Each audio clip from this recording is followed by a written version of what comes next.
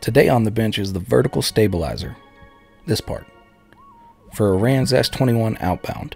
This is what the rudder will mount to, the one that we built in the last video, so if you didn't see that, go check it out. Now I've already cleaned up all of these parts and made sure to deburr anything that needed it.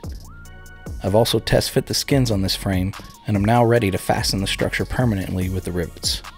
Things get a bit more complex as we progress through this, so I'll have to assemble and disassemble things several times during the process. It's just part of building an airplane. Time to get at it.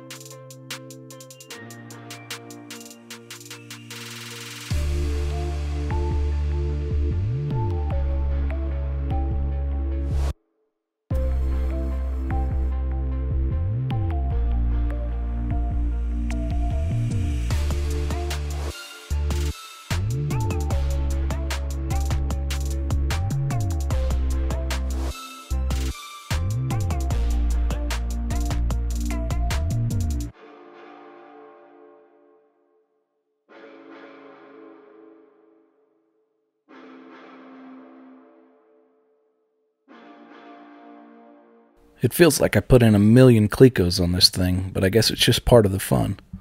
You'll notice that I built a few stands to hold the thing straight while putting it together. I used the center holes and the mounts on the lower end, and what I assume is some tooling holes in the top rib. I ran screws into the wood and then chopped off the head. It seems to work pretty good so far.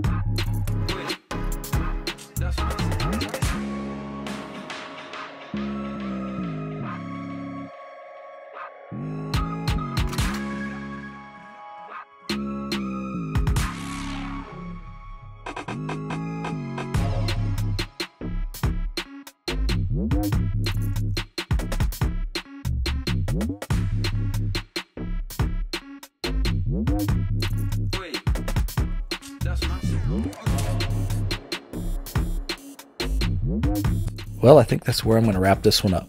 The next step is taking the skins back off and cleaning up all the new holes. There's a bit of prep on the aft edge of the front skin as well, and then it's shoot a thousand rivets time. We'll just start with that in the next episode, so please consider subscribing if you haven't already. Like and share if you enjoyed it, and thanks for watching.